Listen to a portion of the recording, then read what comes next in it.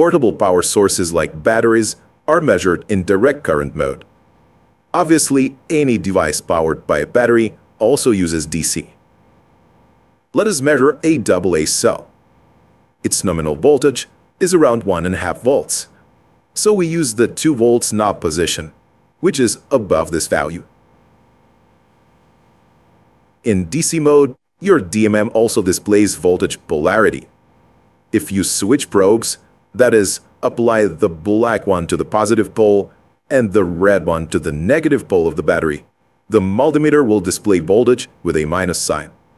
This is to aid you in finding out a battery's polarity if it's unknown.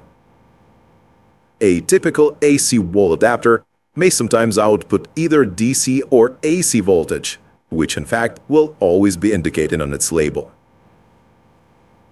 To perform measurement, you have to put your DMM into the appropriate mode.